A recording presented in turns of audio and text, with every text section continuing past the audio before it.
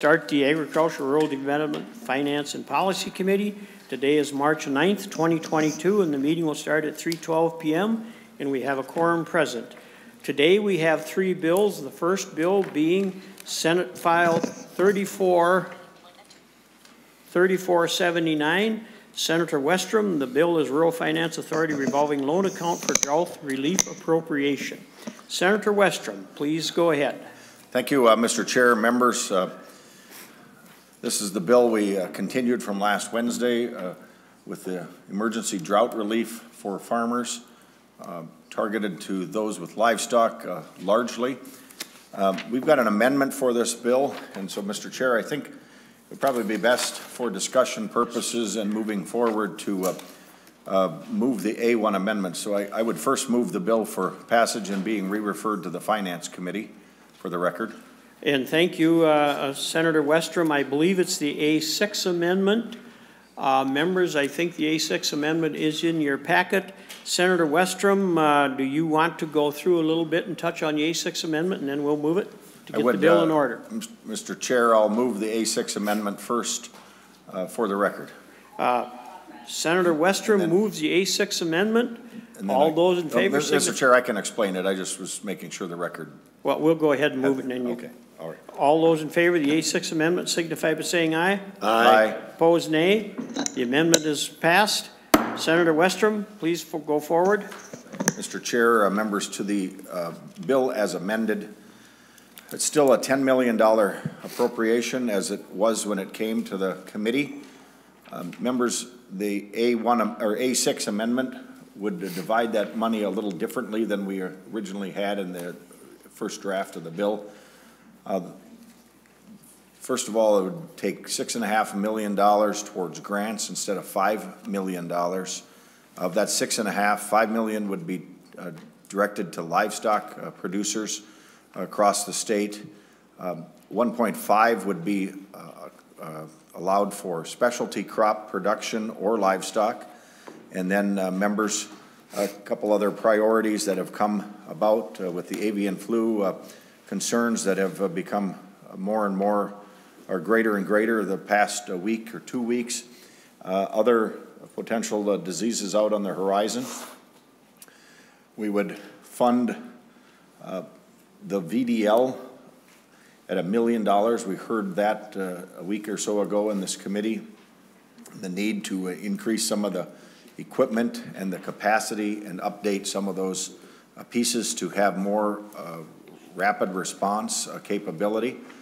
If you remember, uh, many of the, many of those uh, orders of the equipment would not be necessarily able to be here in time for the avian flu, but it's a timely reminder of the need for having those labs up to date as much as we can. So that would take, take um, a a million dollars of the appropriation of the 10 million. We do um,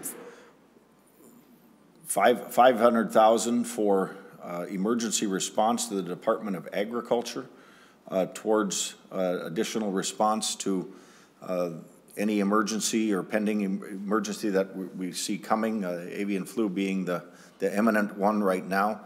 And, and we also give them a clarification language uh, to make sure that they can spend the nearly $500,000 they currently have from the budget we passed last year uh, to, to be able to respond to uh, emergency uh, situations like this that uh, we're facing. And then um, we also would, would call out $500,000 towards deer farmers, which are also livestock farmers in the, in in Minnesota members. But we've heard from those farmers earlier in this committee and some of the costs of, of keeping their animals fed and uh, taken care of uh, while they may, maybe had their own types of uh, uh, urgent actions uh, or regulatory actions taken where they've uh, lost revenue and not been able to uh, uh, have the income on their farm, just, just like uh, the drought farmers. So 500,000 would be used for them uh, to also receive uh, up to $5,000 in the grants. And so, uh, members, uh, this language would also uh, expand from the about 10 counties that was in the original draft to uh, the map of the federal uh, USDA that uh, indicated uh, drought-stricken counties, which would raise it up to, up to about 67 counties, uh, uh, is, is what this language would also expand the eligibility to um, in this bill. And so, Mr. Chair, um, seems to me I'm forgetting one part of the, uh, the, the dollar amount, but uh, maybe uh, staff could uh, give me that if there's a piece I forgot. Well, Thank you, uh, Senator Westrom. Who would like to go ahead with the balance of the finance? Mr. Chair and members, Senator Westrom, I think you hit all the points in the A6 amendment. Okay. Was there uh, any other further clarifying questions? no, no, if I hit them all, that, I was thinking I might have missed one, but I was just adding it up wrong in my head then, if that, if I'd got it all. Very I- good. I believe you did. Thanks. We Got a oil light adding machine up there, Tori. Are you ready for your testifiers, Tori? And Mr. Chair, uh, I think uh, Commissioner Petersen is here from the Ag Department. We did hear from testifiers last week, so, um, Mr. Chair, we're, we are ready for testifiers or, or committee discussion. Okay, uh, Mr. Petersen, Commissioner Petersen, would you please come forward?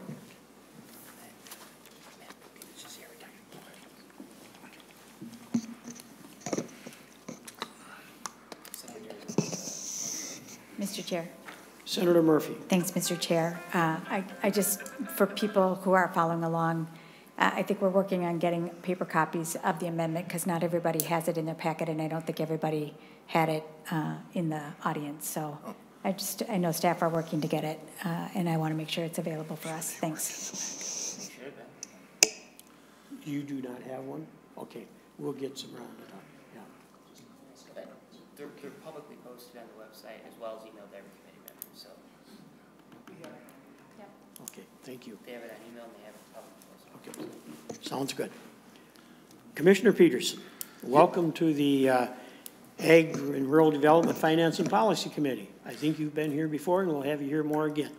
Thank you, uh, Mr. Chair and uh, Mr. Chair. uh, And Senator Westrom, again, yeah, I haven't had a paper copy yet, so I've just been kind of looking at it on my phone, and I appreciate, we've been kind of talking with Senator Westrom about uh, this, and I, I really appreciate Senator Westrom's work in trying to uh, find some common ground and different things on this. As I said too in my testimony last week, that what we put forward was, could be scaled up or down, or, and, and that's kind of what Senator Westrom's done. And so I, um, you know, we put out the uh, 10,000 and had it broke up in a different way.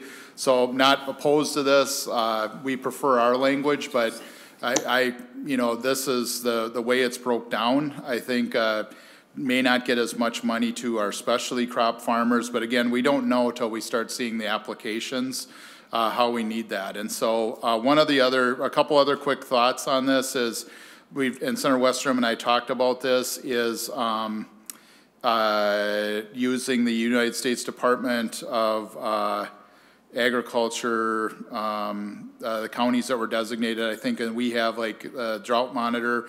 I think this might work. Our staff too is, uh, kind of working on that, so I don't want that to be a big hiring up because that's something we could, you know, fix on the, in the floor or, uh, another committee or in, uh, um, uh, conference committee, because I think the bills will line up a little differently. Um, but that, just one thing I just want to, you know, continue to look at as we, uh, move on. Uh, and I'm just trying to read my notes here. Um, sorry, kind of doing this a little bit. Uh, um, the maximum, you know, I think it gets to more farmers. Uh, it increases, uh, the total amount to, uh, livestock farmers. Okay, and then the other thing I just mentioned is, yeah, and I appreciate the uh, senator trying to address some of the concerns we have right now with avian influenza, and uh, and again trying to unlock some of the money that we do have, and then also appropriating some of the dollars that we could use right now um, on that too. I'm not sure exactly uh, on the deer farming piece of it. Again, not opposed to it, but I just have to get some more information on that or a little clarifying on how that might work or what the loss or the revenue would be. And our staff's kind of looking at that again, kind of uh, as we go. And then uh, add one other comment. And again, our bill um, that uh, hopefully is uh, out. Uh, you should get the jackets today, and I apologize for the delay. It's been a long time uh, coming. We do tie our bill to the DNR uh, portion of that that also has some drought relief in it. So those are just some of my comments on it again. And I appreciate Senator Westrom uh, working on this to try to get the dollars out uh, as soon as possible. And, uh, you know, I think this will kind of be on some ongoing work. So sorry for my rambling uh, comments, but, uh, you know, as we're kind of working through this. Mr. Chair. Well, thank you, Commissioner Petersen, and your comments are certainly on the record. Uh, Senator Westrom. Mr. Chair, um, Commissioner Petersen uh, jogged my memory a little. Uh, The the million and a half extra that I was not having uh, added up in my mind uh, was the portion of the RFA that we're paying back for the Oh. low-interest loans that uh, they have uh, started using or used last summer and fall. Uh, My understanding is that's about 1.3 or 1.4 million that they, that they actually need. Uh, This would give a little bit extra on top of that, but uh, that's where the other million and a half is in this bill. But to that end, uh, what Mr. Commissioner Petersen talked about, and we talked about on the, earlier this week uh, when we uh, were discussing other, this and other things, um, it it might be helpful for our committee to hear from him or uh, his staff how, how they would propose to move forward with an application on this, because uh, in the mic, in the, in the blend of trying to uh, get this out quick, so farmers uh, needing feed bills to be paid or figuring out what they should be doing, um, the time is of the essence, but at the same time, we also want to make sure we've got a, uh, a, a, a- quick grant program that, that does have meaningful information, so uh, the right people are actually putting down information. So maybe Commissioner Petersen have just a comment on that, or some staff that uh, might give us some, some uh, insight or enlighten us how, how that process would work, so we can try to um, also be good stewards of the taxpayer dollars. Commissioner Petersen. Mr. Chairman and uh, uh, uh, Senator Westrom, yes, I- I'd like to phone a friend. We have uh, either Paul Hugunin or Ashley Bress from our grants department who could talk about how that might work for the applications as we kind of look at that. Um, I hope that they're on there and uh, that one of them could address that. Otherwise, I can take a stab at it. No, no, that's all right. No, no, we're we're prepared for it. Mr. Chairman, this is Paul Hugunin. Welcome to the Ag Committee, sir, and if you would like to state your name and who you're with for the record, and then proceed. Thank you, Mr. Chair and members. For the record, my name is Paul Hugunin. I'm the Director of the Ag Marketing and Development Division at the Department of Agriculture. Um, In terms of process, um, I think the important thing is that we would rely on, on what we learned handling uh, some of the COVID relief funds. Um, As this committee knows, we handled several rapid relief grant programs, so we would use that as a model. Um, You know, and basically, you know, as the commissioner has emphasized, the goal here would be to, to be able to turn this around as quickly as possible so that farmers can get those checks and get relief as quickly as possible. Um, So from final passage, basically, obviously, we need to finalize an application. Our, our intent would be to um, encourage farmers to apply electronically as much as possible in the interest of time. So uh, likely that would be an email application where they could attach, uh, attach the application and any supporting documents. Um, To get them into the state system so that we can cut a check, we would need to have farmers send in a W-9. Uh, We can collect that electronically as well. We do anticipate the need, though, to, to offer farmers a, a a purely paper option as well. I mean, we know farm, uh, so many farmers are very electronically sophisticated, but, but there are still some we anticipate would prefer a paper model. Um, So, I mean, that's just a quick kind of glance at how we would, how we would approach this once this bill uh, reaches final passage. Thank you, sir. Mr. Petersen, anything further you'd like to add? No, sir. Senator Westrom. Mr. Chair, uh, that, that covers it for, uh, for our end. If um, members have committee, or committee members have questions or any discussion, uh, that's, that's what, that's all we have. For the thank you, Senator Westrom. Members, uh, questions? Senator Anderson. Uh, Thank you, Mr. Chair. Um, Looking at the amendment and, and the bill, I'm, I'm just wondering if there is a requirement uh, for a report to come back to the Ag Committee of how these funds uh, were dispersed. Once they've been uh, decided and voted upon, and finance, it goes through finance, and we get it to the governor. Uh, Is there a report being required here so that we know exactly how these funds were used and that we feel comfortable about what we've done? Senator Westrom.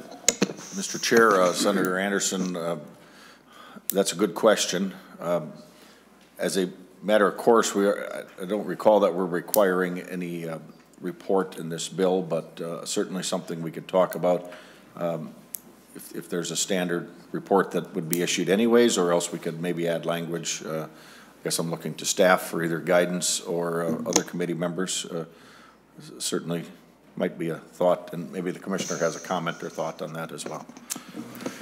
Senator Westrom, I believe under the emergency count, there is a required report, but that would be the only report that's going to be in place at this point in time. Okay.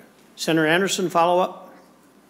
No, Mr. Chair, if that's uh, already required of these funds uh, that we, uh, in the next uh, session, or next legislative session, that we get a report back, that would be great. I look forward to the, see how uh, many people uh, applied and how many were given out and how we've utilized all the funds. Thank you. Thank you, Senator Anderson. Senator Frentz. Well, thank you very much, Mr. Chair. Thank you, Senator Westrom, for bringing this forward. Uh, We've just seen the A6 amendment. Thank you, Commissioner. Um, Can, Commissioner, can you talk about the 6.5 million versus 10 million? Um, Just asking, not suggesting that we don't move the bill along, just um, as we look at the, the need, I think the farmers in some of our districts are going to notice that, that amount and- and wonder whether there's any significance or where we're headed with that. Commissioner Petersen. Yeah, I just, um, s- uh, Mr. Chairman and Senator Frentz too, and just trying to be clear, because I, now I lost the bill too, but, um, the, uh, I don't- I don't have the paper copy of the bill, but. Mr. uh, Chair, Mr., maybe the pages could bring a paper Because I just want to be clear, uh, is your total overall package is what? Five. Six point five, Ten- okay. ten total. Ten total, right, with the RFA. So basically, we're putting more in the grants and less in the RFA.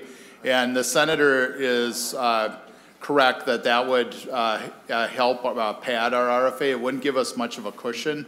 The, the thing we're concerned about is we've done, as the senator said, I think it's one point three million dollars in loans. We have quite a few others, like in the queue right now, we've gotten like thirty or forty calls. We're just not sure where that's gonna come or where that's gonna hit. Um, you know, so there's a possibility if we don't backfill, um, or put some more money in the RFA, there may be people that aren't able to get those, uh, loans if we weren't able to run. Or we use it for other, that revolving loan account is used for other things like farm restructure loans. Luckily, right now, it's, uh, you know, uh, we're not doing as many restructures, but there are other loans that use that account too. And so we could run short, but we could maybe address that again next year. Uh, you know, this might be enough to get us through to the next year. So, uh, it doesn't give us a lot of, uh, maybe enough. When we, we put the five million dollar, uh, figure together with, um, uh, advice from our uh, Rural Finance Authority. Um, But that being said, we could go with a smaller amount, uh, you know, and we'd be able to work on it for now and, and satisfy the loans, but, you know, not knowing what the rest of the year will bring. Senator, or Commissioner uh, Petersen, we're trying to find, trying to get you a copy of the bill here shortly. right. So Senator Frentz, follow up. No, but thank you, Mr. Chair. Thank you, Senator Frentz. Members, other questions? Members, any other questions or discussion? Senator Eken. Well, thank you, uh, Mr. Chair, and uh, Senator Westrom, thank you so much for, for bringing the bill forward. Uh, This is critically important, and, uh, you know, I think about how things have changed since I was growing up with all the the livestock uh, agriculture that we had and how, how little we have today, and we've been moving in the wrong direction.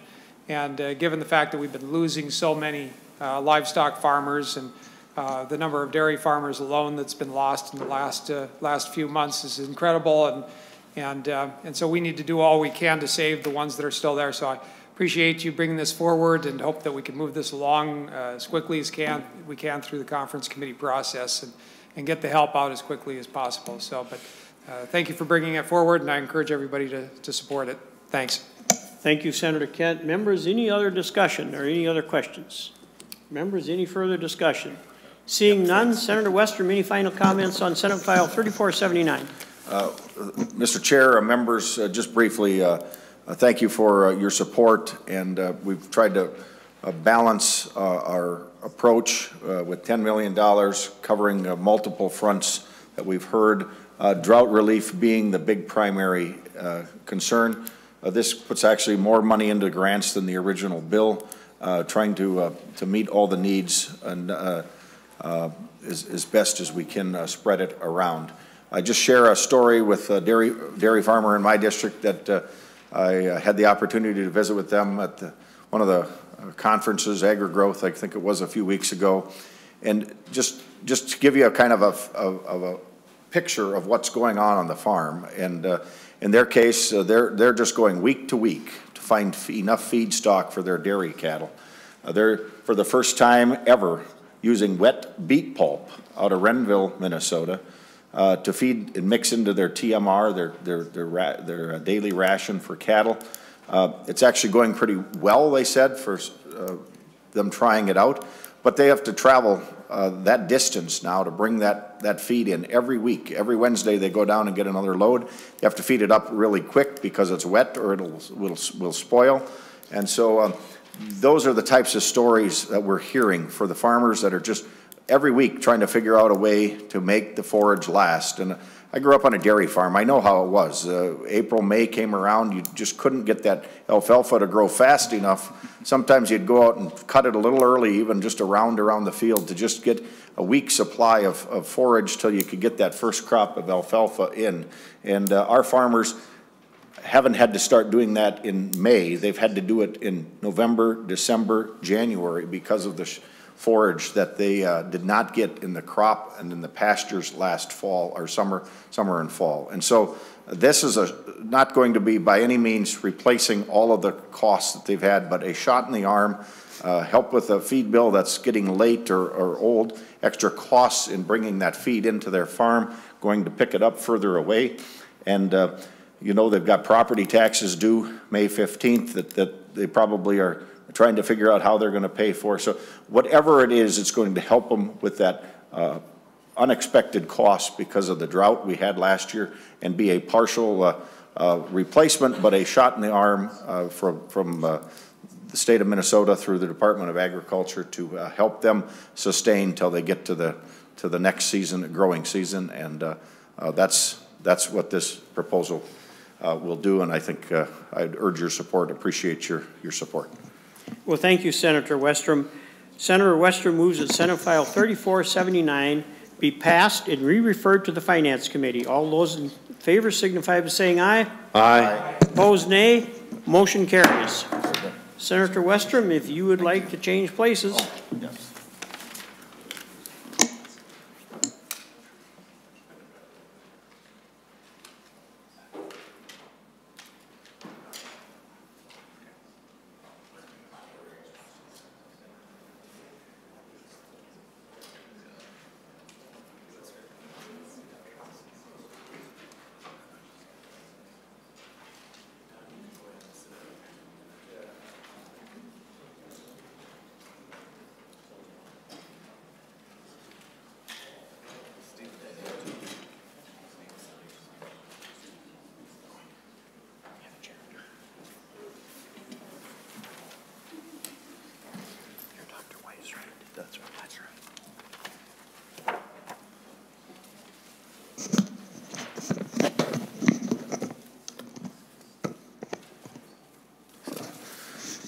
Senator Dahms, uh, Senator Dahms uh, would move uh, Senate File 35, 3711 for consideration and be laid over for possible inclusion in an omnibus bill. Uh, Senator Dahms, uh, why don't you tell us about your bill, and then uh, we've got some testifiers.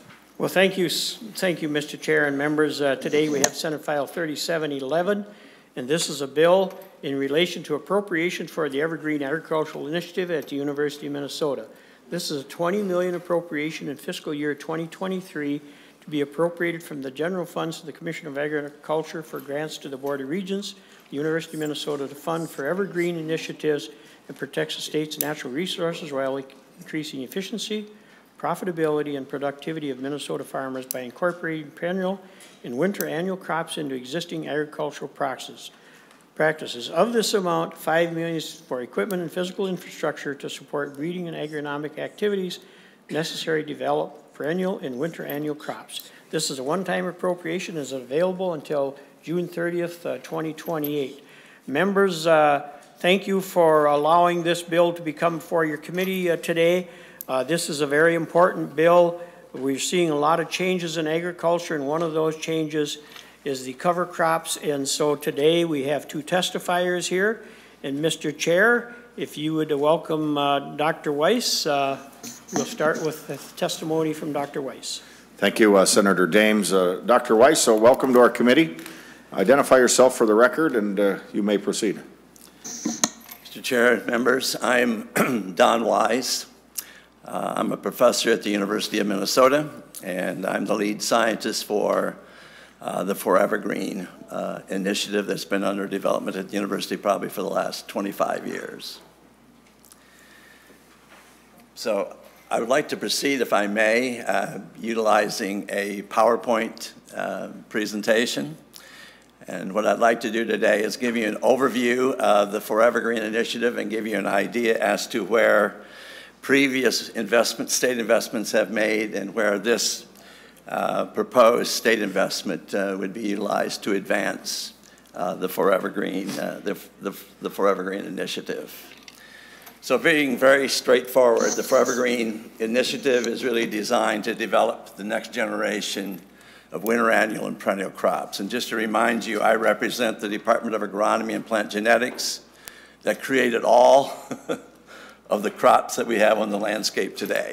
Well, hybrid corn, soybeans, wheat, barley, oat. So for me, as a member of that department, this is a just a continuation of the, of the development of the next generation of crops for the farmers and, and uh, uh, citizens, uh, citizens of the state of, of Minnesota. What's unique about this set of new crops, they're designed to produce a continuous living cover, to protect the soil and water resources of the state, but do it with an economic pull, right?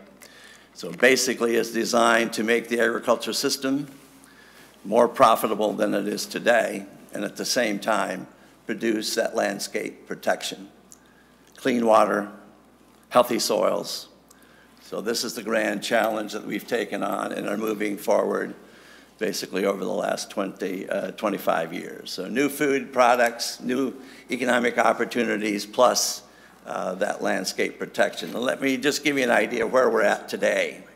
This is a satellite shot of the greenness on the landscape over time.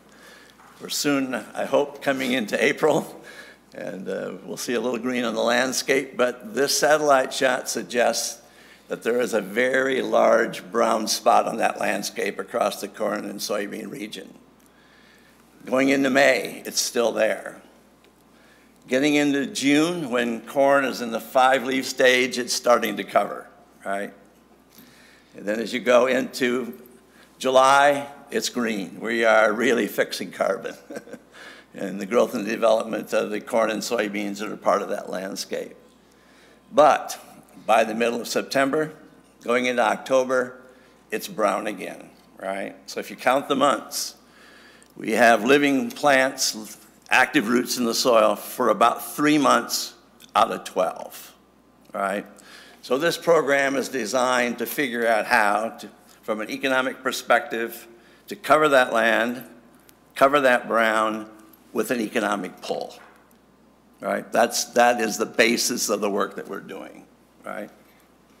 But that, the key is developing new crops and new cropping systems that are viable in the marketplace. And you'll hear from some other testifiers today that, that are the end users turning it into viable products in the marketplace. So just to give you a visual of it. right, here's Kernza, the first perennial grain in the world that we released as compared to an open soil that you just saw in terms of the brown period in the fall. Right, so it's being positioned now for wellhead protection, and you'll hear a little bit more about that later on, and for planting in buffer strips to make buffer strips profitable. Right, just as two, as two examples. The other big push that we have in the program is to develop a new type of cover crop, a cover crop that fits in the corn and soybean rotation protects that, the, the, the water and the soil, but produces a crop that has a marketplace, right? So it does not replace displaced corn and soybeans. It fits into that system to fill the brown in the fall and the brown in the spring, right? To hold those nutrients. We all know the value of nitrate nitrogen, right? it's well over 50, 50 cents a pound, right? You can look at it as a pollutant, but it's also, it has economic value to hold it into the system and provide uh, nutrients to these, these new type of cover crops. So these new Mr. Wyse. evergreen crops Mr. have to have, go ahead. Just a question on, Yeah. uh, on that. So when you, what, what types of things might we, might, might you be thinking of? Uh, You said between the rows, but something uh, that would be growing in the fall, uh, probably October timeframe when the corn's been harvested, so it it can get that sunshine again? Or something that would start in the fall and then continue in the spring and be harvested before the corn would go back in again? Or just ex- explain that a little bit more? Mr. Chair, I'll, I'll show it visually if, if, if, And- if I could just wait a second. Yep, It'll that's come- fine. And then- come up and I'll show what it looks like. This, uh, when you talk new products, uh, the cereal that we've been handed out, uh, I hope it's edible, I've already been eating it, so, uh, but Well, maybe you want to talk about that just are- briefly as well. Yes, Uh, that will be part, of- that will be, Mr. Chair, that will be part of the story that we're presenting today. All right, thank you. So these new crops provide new supplies of oil for food, diesel fuel, jet fuel, fiber, protein, and a wide range of other, of other products. So the new economic opportunities that are provided by this investment is high-value food, feed, and energy ingredients, green marketing, ecosystem services, reduction in greenhouse gases, innovative health, uh, healthy food products, and as a rural kid, new economic opportunities for farmers and rural communities. I think that's key to what we're presenting to you today. So, not only economic opportunities, but these environmental protections, protection of rural water supplies, clean water in general, nutrient management, pollinator habitats, carbon sequestration, soil protection, and soil health, just to give you an example of the things that we're focused on. Okay, but how do we get there? So this is what we are so very proud of, and we are unique in the United States of America. We've put these 16 crop development platforms together, all the way from basic breeding, genomics, agronomics, food science, commercialization, and supply chain development. So the basic science is tied all the way through to commercialization, and you'll hear those stories presented to you today. And these are real. We have 55 people at the University of Minnesota that are working on this full array of science and application of that technology. It's unique in the country. So these are the crops that we're working on. All right? Intermediate wheatgrass is the first perennial grain in the world. I'll just use that as the example of one of the perennial crops. The winter annuals, pennycress, camelina, those are the oilseed crops. Pennycress is, has been domesticated in the same way as the Canadian domesticated rape seed into canola. We've done exactly the same thing with pennycress into a winter hardy new oilseed crop that fits into that corn and soybean rotation. All right? And then we have a couple others that we'll just mention. Hazelnuts. The global demand for hazelnuts is very high. Great interest from a wide range of food companies. We are making progress in putting some of that germplasm into the marketplace with enterprises being de- developed around it. Just a heads up, we have made great progress over the last number of years. We have products in the marketplace from General Mills, uh, uh, Perennial Pantry, a local uh, uh, uh, company, Patagonia, and a wide range of other use, users, including breweries. Bang Brewery here in the Twin Cities, as well as others across the, uh, the Midwest and really across the, uh, the country. So we've moved from basic research to real products in the marketplace. So this is how I like to look at it in terms of a, as a research scientist, everyone looks at research as a dead end in some cases. We are not a dead end. This program is designed to take the research directly to the field and to the table as I just described to you. Very, very nutritious, very good tasting food products, right? And others will testify and to that in greater detail than I can give it to you today. So to date, a lot of the funding, base funding for this work has come from Clean Water Legacy in the range of maybe $8 million over eight years, 10 years, right? What have we done with that? We've organized these 16 crop development platforms, and for every million dollars you have given us, the state has given us, we've been able to bring into the state of Minnesota another 5 million. So we've taken that $10 million funding from Clean Water Legacy and turned it into 50 million. Industry, foundations, USDA, and beyond. So the investment that we, you have made in us, or the state of Minnesota has made in us, we've increased it fivefold. And, and I certainly would be very happy to share that data with you if you, if you would like to see it. But we've also been successful in new products. Minnesota Clearwater, the first perennial grain in the world. It's now in the marketplace. It came out of our, out of our program. The first winter barley that really survives here in Minnesota, right? Uh, First winter hardy hairy vetch as a cover crop going in- into, into, into the system. Six new hazelnut lines that are going, on their way to commercialization. Just to give you, we could go on and I don't want to do that. So I'm going to give you just a couple very fast examples, if I may, Mr. Chairman. I want to show you an example that has, is in the news all the time, right? But I don't want to get concentrated. There's 16 others. But just let me show you a- and give you a little background on the perennial crop, intermediate wheatgrass, Kernza, and then the two new oilseed crops. So, intermediate wheatgrass was introduced in the United States as a forage. We're basically just domesticating it as a perennial grain, but you don't lose the grazing. You don't uh, lose the quality forage product that comes off of this. So it's a dual use. Everyone force, focuses on that grain, but it still has high level of productivity of forage. So in a year like we just went through, you got the grain, and those farmers are also marketing a high quality forage off of that landscape, as well as grazing it. This is why it's exciting, and this is why it's so interesting to, for wellhead protection. It has a very deep root as compared to uh, winter wheat next to it, right? so there's also this interest, does it sequester carbon? We're not sure yet, right? Whether it does sequester carbon in a way that will stabilize that carbon uh, in, in the soil. What's the focus? Why intermediate wheatgrass?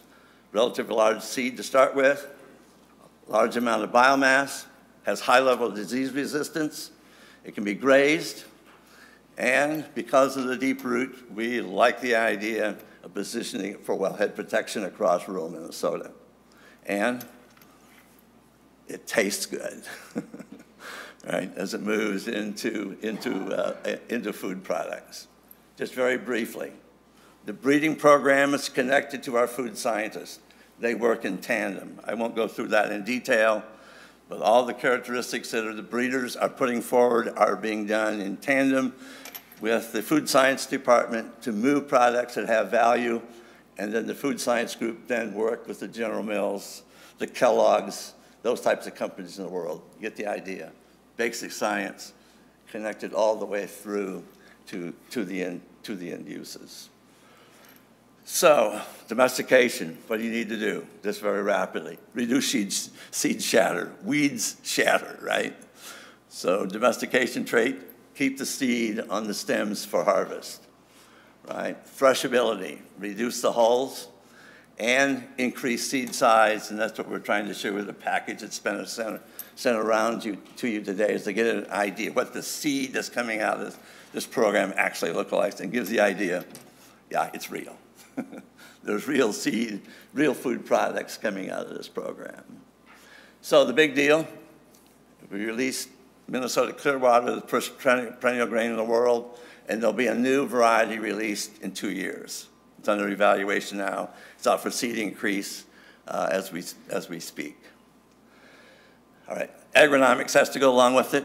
So you can have the plant, but you have to figure out how to grow it, right? So we have a team that's working on that as well. Nitrogen rates, row spacing, and all of those types of things that we could go into some detail.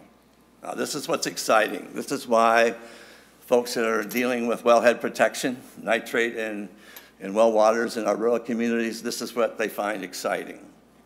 The top line is corn looking at the soil nitrate nitrogen below it over time.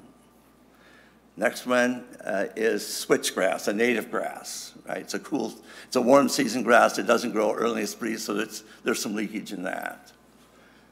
But look at Kernza. Basically, no nitrogen moves through it. And we now have evidence that those deep roots can actually bring some of the nitrogen back up. That's part of the study, right? There's evidence that that may in fact be the case. No nitrogen going down through the system, and it may be able to bring some of the nitrate nitrogen back up. Not only that, but it produces a marketable grain in those environments, right? And just again, just to tie it to the food that, um, that, that, you've been, been served. I just want to say something very briefly about, I don't want to take up all the time here, uh, on pennycress and, and camelina, the two oil, oilseed crops. These are winter hardy. You can plant them after corn. They will survive the winter even when they're really small. And I just got pictures from the, from the campus. It's growing already this spring.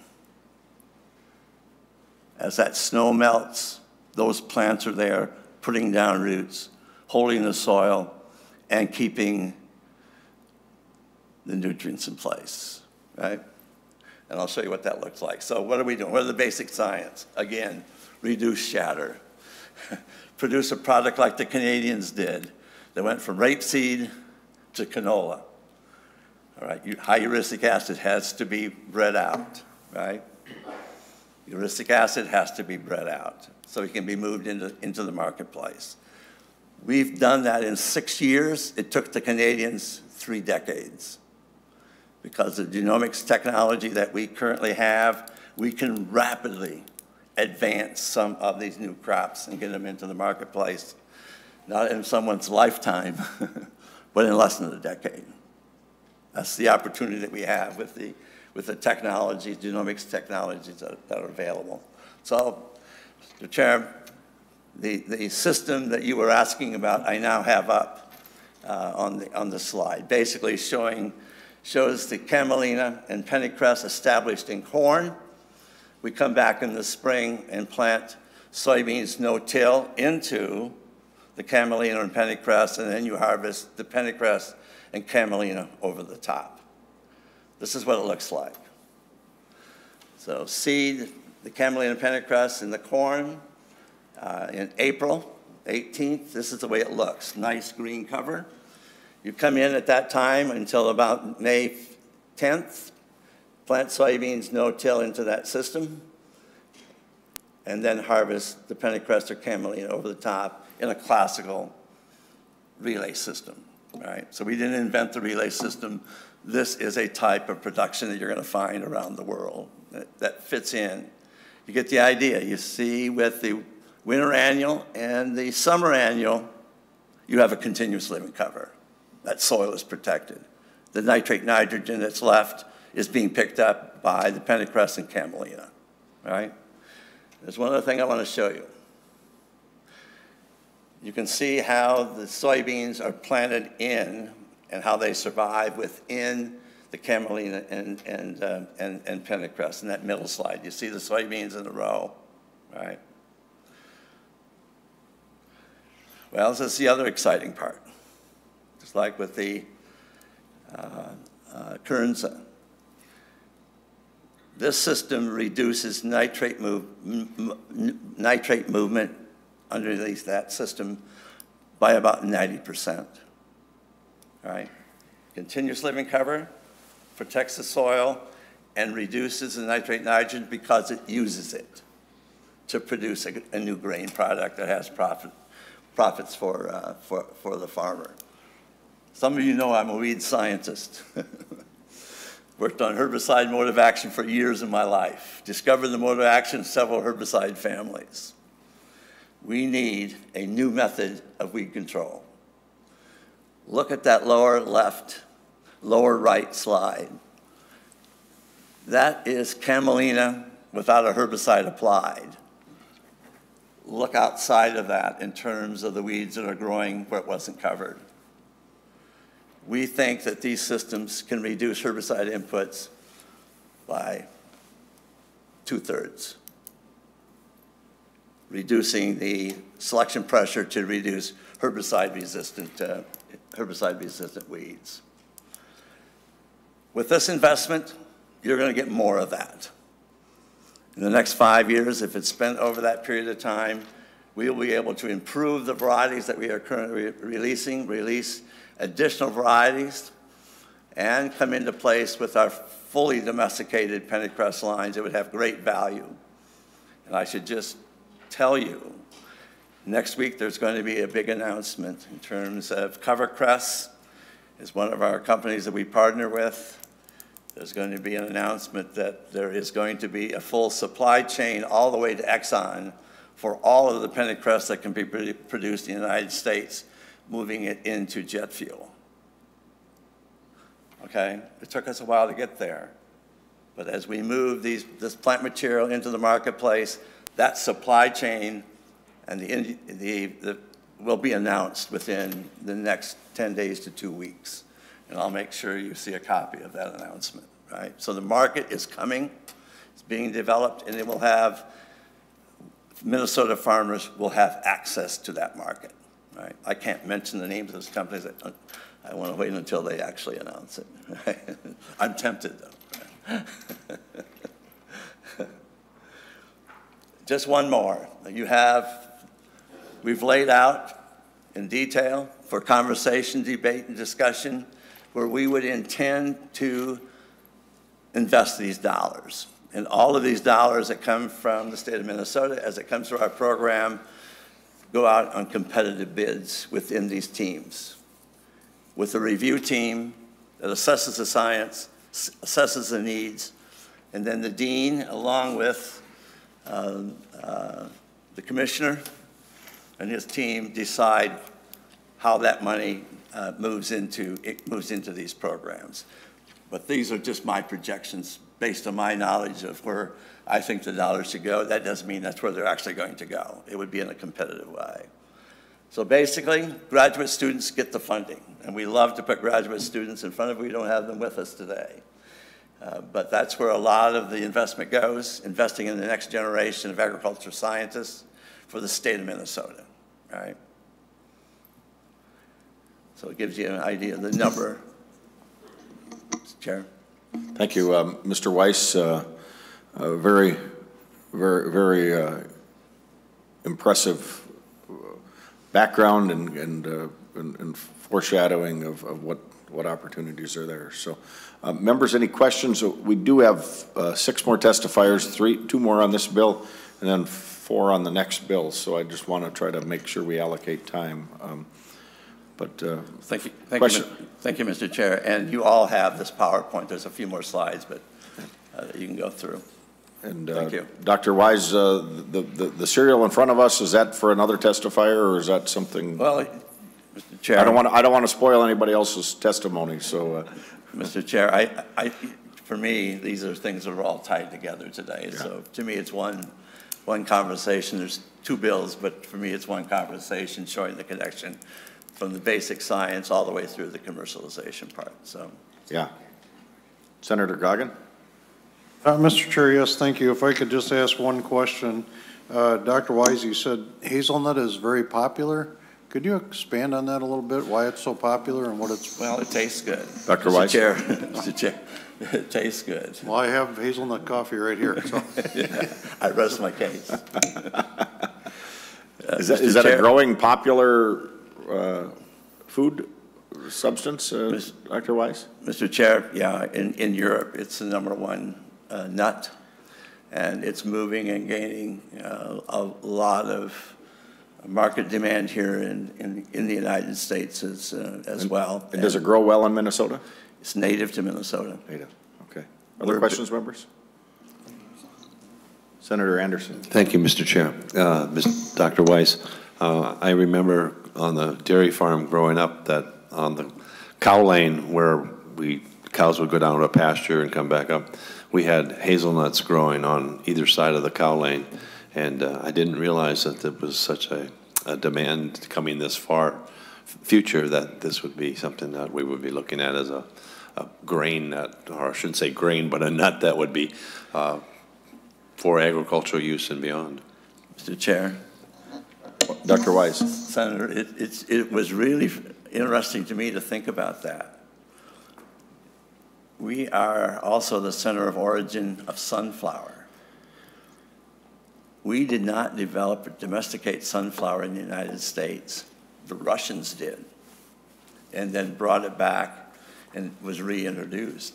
And it's always, I've always wondered why we didn't pick up on this highly nutritious, high protein, high, high oil nut and develop it in, into, uh, into, into a commercial product. Uh, so we're well on our way to do that, right? So farmers and the industry and the end use industry is very excited about having access to a Midwestern growing nut rather than from Turkey or the Pacific Northwest, right? The, the demand is high, the market is there. All we need to do is deliver, deliver the high quality germplasm. We already have a group of farmers that have a business, uh, Northern, uh, Northern uh, uh, Nut Growers uh, uh, Company, and I have a, some of their products here. You can go online and you can buy directly from them today. Yeah. Thank you, Dr. Wyse. Dr. Anderson, or Senator Anderson, do you uh, have any follow-up? Well, thanks for making me a doctor. No other questions. A veterinarian, maybe. Any questions, members? Uh, Thank you. Dr. Wyse, uh, thank you for, uh, for, uh, for your testimony. I uh, was wondering, uh, did you change your name uh, to be a professor called Dr. Wise, or did that just happen? I think, it, Mr. Chair, I think it just happened. There was a joke in there somewhere, but uh, Dr. Chair, uh, I got Ro- it. Rosenwig uh, from General Mills is our next testifier. Uh, Thank you, Dr. Wyse, for, uh, for for your testimony. Appreciate that. Mr. uh, Rosenwig, uh, welcome to our committee. Identify yourself for the record, and uh, please, uh, please go ahead. Um, Just trying to be conscientious of time. Uh, If everyone can try to stick to about five, six minutes, that would probably be helpful. Sure, thank you. Welcome. Thank you, Mr. Chair and members. Um, my name is Stephen Rosenzweig. I'm a senior agricultural scientist at General Mills. Um, thank you for the opportunity to testify today. Um, General Mills is a major packaged food manufacturer founded in Minnesota on the banks of the Mississippi River, engaged for over 150 years in the development and production of food products, including ready-to-eat cereals, snack bars, refrigerated dough, and uh, numerous other products. The health of our business depends on the health of the planet and the well being of farmers who are the foundation of entire food systems. That's why we are on a mission to ensure thriving farmers, communities, and planetary health. It's with this mission and the recognition of the scale and urgency of the issues at hand that we've sought to lead the food industry in research and action for the regeneration of our agricultural systems. But we can't do it alone, and that's why we need your continued support and leadership. And that's why I'm here today to add General Mills' name to the list of companies that strongly supports legislation to increase funding for the University of Minnesota Forever Green initiative. We've contributed uh, a million dollars of our own uh, funding through philanthrop- philanthropic giving to Forever Green and made, made significant commercial investments to make and market products uh, with Kernza, intermediate wheatgrass, including the Cascadian Farm cereal uh, that's made from Kernza that you actually have on your tables there that you, you can try. Uh, and that I eat for breakfast and, and really enjoy. it. And the funding uh, that we're discussing today will help grow and stabilize the market for Kernza. We've been contracting for as much Kernza as we can get as a company, and in fact, our demand is much greater than we're often able to procure. To date, our Kernza cereal is in 343 Whole Foods Market stores, which represents a 10% increase even since September. We see the potential for more mainstream retailers to carry it as well, and for using Kernza in other products, including granola and snack bars. Given the wide-ranging benefits of enhanced diversity and continuous living cover, from water quality to farm resilience, advancement of the forever green crops also improves the sustainability of all the other crops that we buy from Minnesota, including sugar beets, corn, and wheat. Integrating perennial and winter annual crops into existing farming systems provides growers with new, diverse, and resilient crop options. This has never been more important for Minnesota's farm operators and for businesses like General Mills that rely on the crops that they provide. We strongly support the legislation to fully fund the Forever Green Initiative and look forward to working with the University of Minnesota to make Minnesota the global leader in developing more sustainable, profitable, and diversified cropping systems that improve habitat, water quality, climate, and soil health while boosting our agricultural economy. We urge your support for this important legislation. Thank you for the opportunity. Thank you, uh, Mr. Rosenwig. Uh, question, Kernza, what what uh, what's the appetite for uh, General Mills right now uh, to buy it? Do, do, you buy a lot of it? Can you get as much as you want? And why why what do you find in that product different than wheat, or why would you use that instead of wheat or a different product? Just just as an overall answer. And then other questions, members. Yeah, Mr. Chair. Um, we, in particular, are interested in the environmental benefits of it, the water quality aspects, the soil uh, health uh, capabilities. General Mills has a public commitment to advance regenerative agriculture on a million acres, which the principles of regenerative agriculture really include continuous living cover and diversity. And so we see crops like Kernza really helping to uh, help us advance towards our public commitments. But in addition to that, there's a great message for consumers um, you know, we're, we're talking here about uh, Kernza intermediate wheatgrass, and that's a, a, story that we are really looking forward to telling to consumers. We have, we're really showcasing that product on the front of the box and, and using that as an opportunity to tell them about the great work that farmers are doing, using Kernza to improve the environment, improve water quality and soil, build their resilience as farmers, um, and it also tastes great. And so the, the nuttiness of the Kernza cereal is something I've um, had an opportunity to try firsthand, even when it was back in product development. And so I know the product developers really see it as a unique product, um, different than, than wheat, but can be used for similar applications, but certainly uh, has those environmental and, and taste benefits too. So, uh, Mr. Rosenwig, does it, do you have a product that, that has that in it specifically? Uh, uh what, what, would we, what would we know it as? Mr. Chair, it's um, this this cereal right in front of you is the uh, is the Kernza cereal. So um, it's under the one of the General Mills brands is called Cascadian Farm. And if you go into Whole Foods markets around the state or uh, you know around anywhere uh, in the country, you can find uh, Cascadian Farm uh, Climate Smart Kernza grain cereal uh, is, is is how you can find it there. Okay. So so it's not in the Wheaties, but it's something similar. Yeah, Mr. Chair, it's, uh, yeah, we, we also make Wheaties, and this is kind of our, uh, yeah, uh, an enhanced version of that, I suppose. Very good. Members, other questions? Thank you, thank you, Mr. Uh, Rosenwig. Uh, we sure appreciate you coming and uh, sharing with us and what General Mills is doing. Uh, uh, that's all part of the food chain system, so uh, we appreciate that. Thank you, Dr. Mr. Jones, Dominic Jones from the, the Mayor of Windom. Uh, Senator Dahms is your last testifier. Welcome, welcome, Mr. Jones.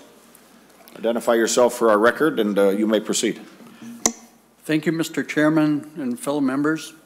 Uh, I am Dominic Jones. I appreciate the opportunity uh, today to uh, speak uh, in support of the Forever Green Initiative. I applaud Senator Dahms for bringing this bill forward, and also um, as the agenda said, I'm also a rural water manager. And our system is called the Red Rock Rural Water System. We're in the southwest part of Minnesota. And I love to talk about water. Uh, I've been doing this for 38 years in my career of dealing with water sources, uh, water source issues, the distribution and supply to member communities, and a population of about 10,000 people in southwest Minnesota. So we have neighbors also.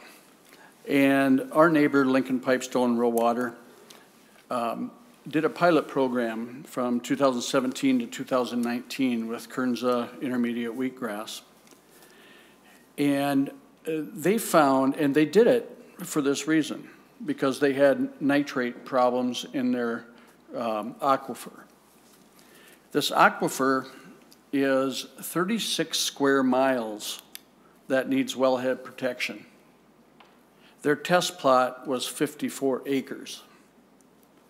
We need more of this in order to facilitate, as Dr. Wyse said, that potential for groundwater remediation of nutrients. So I'm here to attest to that. I'm also here to say that always for rural water systems, small communities throughout the area, where I put on my hat as mayor, is that even small towns, such as Windom, uh, where a population of uh, just about 5,000, I think will be over on the 2020 census. So um, the city of Windom has actually benefited by perennial cover and will benefit more on top of their wellhead. Because just recently, we've taken advantage of a situation where we had a, um, a uh, concrete plant sitting on top of our City of Windom aquifer. And it's quite a large aquifer, maybe in that four or five square miles, a lake next to it, but a concrete plant sitting right in the middle. It was mined around the edges, and so we made a deal with the owner that moved them to our industrial park.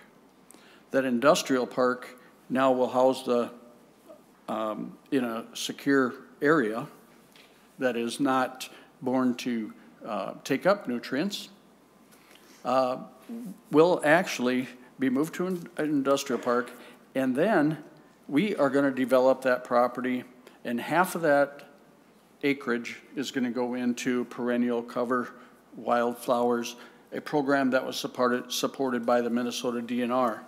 So small towns are utilizing perennials also, and any way they can find to help water, water and wellhead protection areas. The, the part that I, I am really excited about with uh, Kernza grass or other perennials is within our own wellhead protection areas, of which we've set aside approximately 168, 160 acres in each one of our three uh, water sources of by easement, conservation easements, uh, that sort of thing. We've worked with uh, Pheasants Forever, who then donated the land to Minnesota DNR. We kept 20 acres, they kept 140 for wellhead protection. Those are all great programs, but within our wellhead protection area, we have the uplands where we have rain and it infiltrates and come down into our uh, aquifer. I see this Kernza grass, for instance, as a very positive um, and efficient and profitable way that we can stop the nutrients before it gets to our, our aquifers. So our members are going to be happy. What about new members? We've worked with Senator Dahms in the past on other projects, and many of you have maybe traveled to uh, uh, on a bonding bill to our facility. And we have now are looking for water in another region of our system, high demand for good quality water. So during that search, it would be very advantageous if we could work with producers and say there might be an alternative to just setting aside into CREP. that you may be able to have a product that is both financially viable and good for the environment. So I think we've come a long ways. Dr. Wyse and his programs have did an excellent job. Um, we've been watching this for years, and, and uh, it's coming to fruition. Um, I applaud you all for uh, hearing this in uh, uh, this committee, and I'd be very happy to answer any questions on water quality issues or the city of Windom. Members, any questions?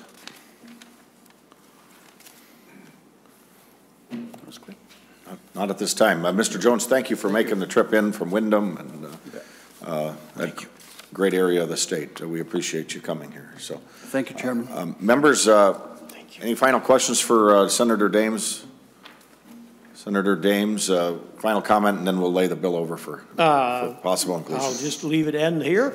And uh, Senator Westrom, uh, I appreciate the opportunity of had you and the committee hear the bill and thank the testifiers for their testimony. And I would appreciate if you would move the bill to lay it over. This time, uh, members, the bill is laid over for possible inclusion. Thank you, Senator Dahms. Oops. Now we'll trade.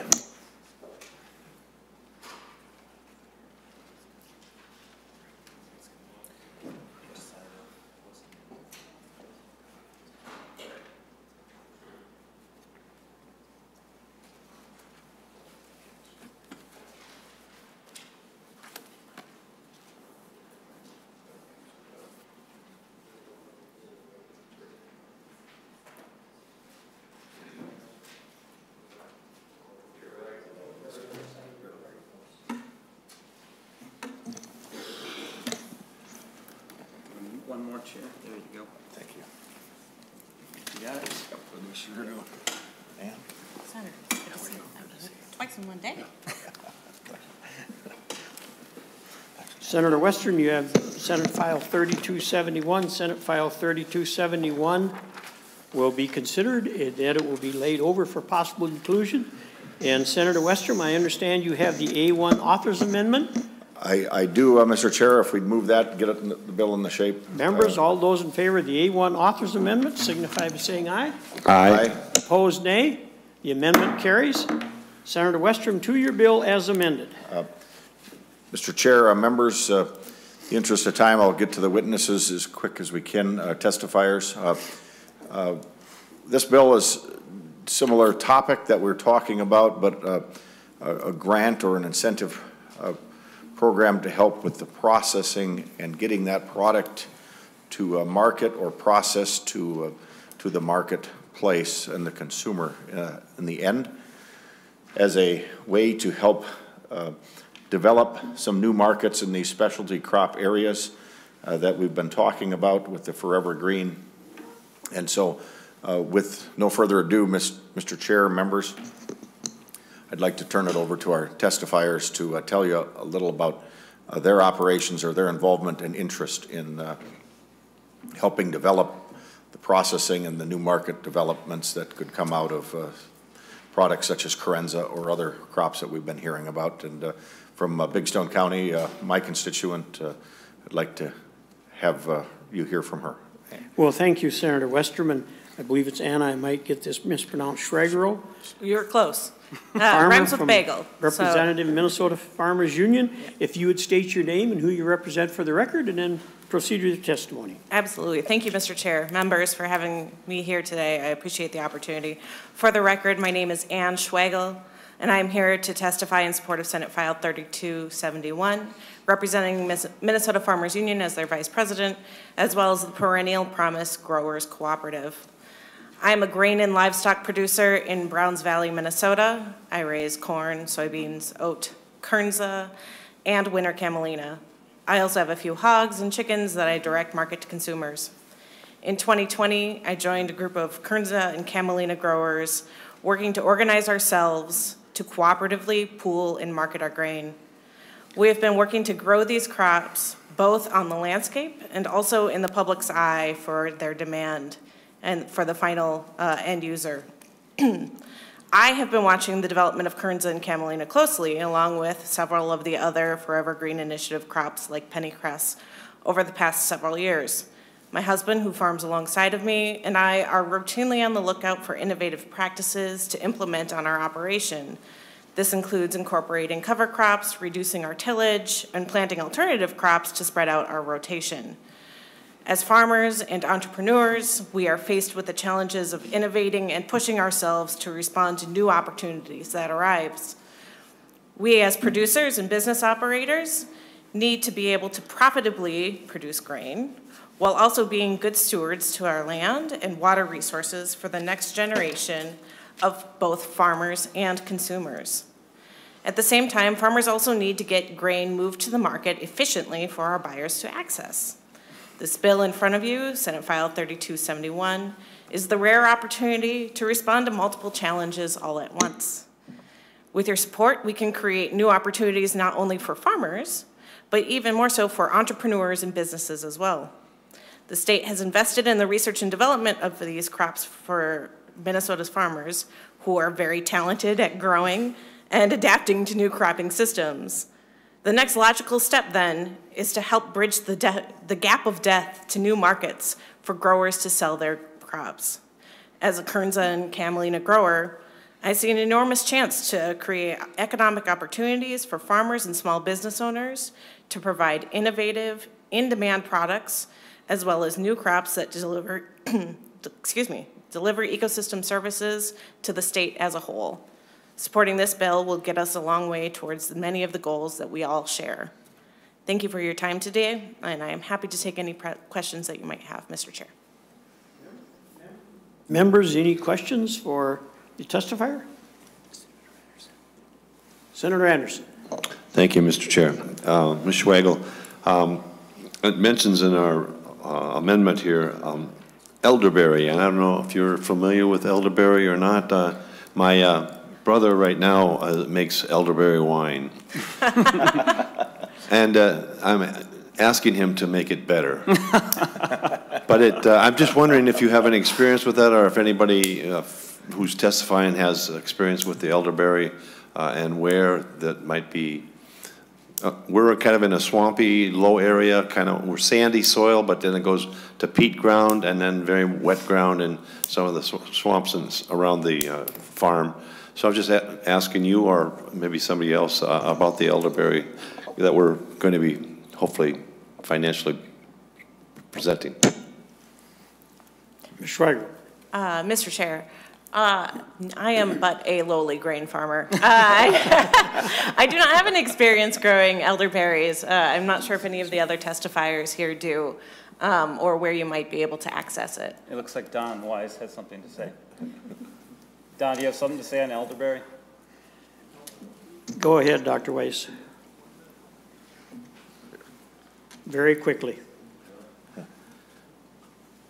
Mr. Chair, members, uh, elderberry is an expanding new crop opportunity. We just received um, an $8 million grant in collaboration with the University of Missouri and the Agroforestry Center uh, there is a huge emerging demand in the food industry for flavor, preservatives, right, and flavor.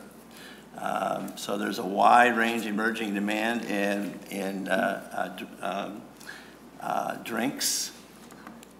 You know, the color in, you know, the, you drink the water with a little color in it, the chances are going to be very good. It's going to be coming from elderberry. Right, so Thank you, Dr. Wyse. We do have to wrap up here. Thank you, Dr. Wyse.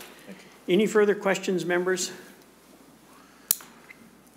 The next testifier, Mr. Ehrhardt, would you please go ahead and state your name and who you represent and proceed with your testimony? Yes, thank you, Mr. Chair and committee members for the opportunity to testify today in support of Senate File 3271. My name is Mac Ehrhardt. I'm president of Albert Lea Seed House in Albert Lea, Minnesota, which is in District 27. Uh, I'd like to thank, and my senator, Senator Dornink, is here today. I'd like to thank him for co-sponsoring this bill. Uh, my company is a third generation uh, seed business here in Minnesota. It was started by my grandfather in 1923.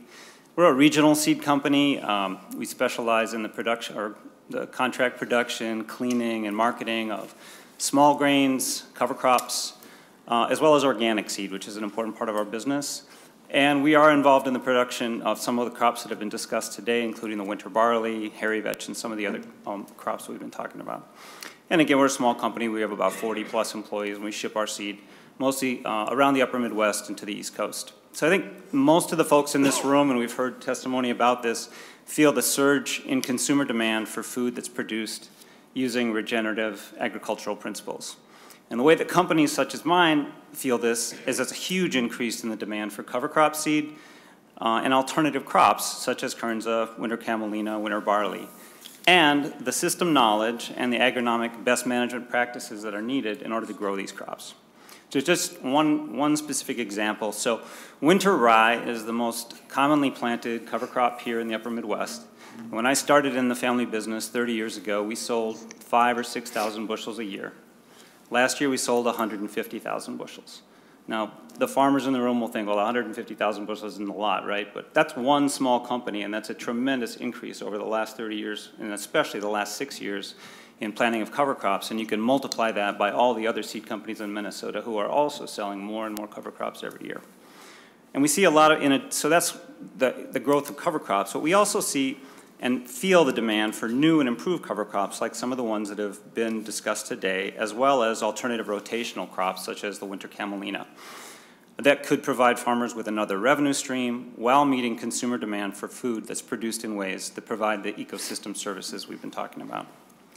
So these alternative cropping systems and some of the new crops, such as Kernza and Camelina, are very new area of agriculture, and they don't have established supply chains or a lot of agronomic support. So I strongly urge the passage of the Continuous Living Cover Enterprise Bill in order to support these small and medium-sized businesses as they do the research um, and build the systems to support the regenerative agriculture. And I'll stop there. Thank you, Mr. Ehrhardt. I think members, instead of starting with the questions right now, I think as late as it's getting in the day, we need to move forward with the rest of the testifiers, and then we'll open up for questions and do the questions all at once. So next we have Mr. Strohfus from, uh, uh, if you would state your name, and I probably butchered it, if you would state your name and, and who you represent and proceed with your testimony. Mr. Chair, thank you, members. Uh, my name is John Strohfus. You did a very good job uh, getting close there. Um, I live in Hastings, Minnesota. Um, I'm thankful uh, for the opportunity to testify uh, here today. Um, we have a very, uh, I grew up on a very small farm, uh, about 100 acres. We had commercial horse boarding uh, as our primary agriculture function along with hay and forage production. Um, I spent about 19 years uh, in IT uh, working in uh, service industry and came back to the farm after my father passed in 2008 and uh, started looking at our farm to say, you know, how could we diversify and have, uh, you know, compete uh, with larger farm operations and looked uh, significantly at uh, specialty crops. Then in 2016, we were fortunate, uh, Minnesota saw wisdom to allow us to grow industrial hemp. So I'm proud to say I'm the first industrial hemp farmer in Minnesota, and we started Minnesota Hemp Farms. I've given testimony on hemp as an alternative foods crop and we're 99% focused on uh, on uh, hemp for food production, and now I believe we're the largest U.S. Uh, supplier of bulk hemp food ingredients. Um, so uh, in 2016, we started that. We also started a brand called Field Theory, and the purpose of that brand was to take uh, bulk hemp food products into consumer packaged goods, and we're uh, in national um, pursuit right now of brand representation in that area. Uh, the reason that is relevant to, to, testimony today is because our business has shifted uh, into an ingredients company where we've been looking uh, and working with other unique crops. Uh, there was testimony today about sunflower. Um, we now grow sunflower uh, on our farm uh, here, which is abnormal for the area, and we work directly with brands to supply them sunflower. Incidentally, our family farming operation is now about eight to 900 acres. Um, I partner farm with a friend of mine in that business. But for Field Theory, uh, we are focused on regenerative agriculture um, as a brand. Uh, we work with other manufacturers uh, and uh, suppliers um, and really have worked to build out a fairly dynamic uh, supply chain in many different crops. We also sell uh, rye as a cover crop. We sold significant amount of uh, planting seed for rye, also milling rye. And the point is, is that we are um, invested in regenerative agriculture as part of our brand. And one of the challenges um, with um, with doing this is the investment that's required, especially as a small company, a small brand, to take a new ingredient. Um, you know, we've had experience with hemp. We've looked at um, you know different uses of different crops. We're very interested in Kernza, uh, camelina uh, as well to bring that into our brand. And I think uh, this bill will uh, be very helpful to us uh, to explore and give us some other resources to really take um, uh, this uh, to create a demand for the farming side. So I uh, am before you today with really two hats on. As a producer, I'd like to be growing Kernza and some of these alternative crops and implementing them in our cover cropping system um, on our farm. But then I would also like to have uh, a direct market for them and use them um, as, a, as a processor. We work with uh, a network of growers, a network of uh, tool processors, and our uh, endeavors are uh, fairly lofty to have uh, both bulk ingredient sale as well as consumer packaged goods containing some of these new and exciting crops. Thank you. Well, thank you. Uh, Mr. Perez, if you would proceed to state your name and who you represent. Thank you, Mr. Chair. Can you hear me? Yes, we can. Fabulous. Thank you, Mr. Chair and committee members. My name is Lauren Perez. I'm the Chief of Staff at PURIS Foods. PURIS, our organization, works across the supply chain. So meaning we work with farmers, we manufacture the products that we buy back from those farmers, and then we work with large CPG organizations to then create that final product accessible to consumers. Consumer packaged goods are increasingly marketing environmental and sustainability advantages to gain momentum in the marketplace. Matter of fact, our team is at Expo West in Anaheim, California this week where a lot of CPG organizations are showcasing their sustainable uh, products. Forever Green initiative, their crops fit squarely into the model that the food manufacturers like ourselves are looking for in order to meet consumer needs. Crops that deliver nutrition, nutritious value while improving soil and water quality can drive a premium on the marketplace if their production, if the production, if their production, excuse me, and the story around the way that they were grown and made is transparent and sustainable. Um, our organization, PURIS, proves that sustainable food and agricultural model is possible. Um, the way that we did so was commercializing of pea protein, leveraging yellow field peas, which are nitrogen fixating, meaning they give more to the soil than they take, um, and help farmers mitigate the amount of fertilizer that they need to put down on their property. Over the last 20 years, our organization has invested in the breeding, the production, and the processing infrastructure, as well as the market development of both yellow field peas and pea protein.